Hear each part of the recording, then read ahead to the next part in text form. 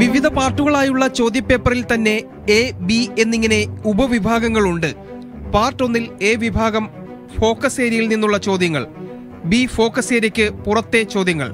A പാർട്ടിൽ ആറ് ചോദ്യങ്ങളിൽ നാലെണ്ണത്തിന് ഉത്തരം എഴുതിയാൽ മതി. അങ്ങനെ ഇഷ്ടമുള്ളത് തിരഞ്ഞെടുക്കാൻ ചോയ്സ് ഉണ്ട്. എന്നാൽ ബി വിഭാഗം അഥവാ നോൺ ഫോക്കസ് ഏരിയയിൽ നിന്നുള്ള നാല് ചോദ്യങ്ങൾക്ക് ചോയ്സ് ഒന്നുമില്ല. അതായത് ഒരു ചോദ്യത്തിന് ഉത്തരം തെറ്റിയാൽ അതിന്റെ മാർക്ക് പോകും.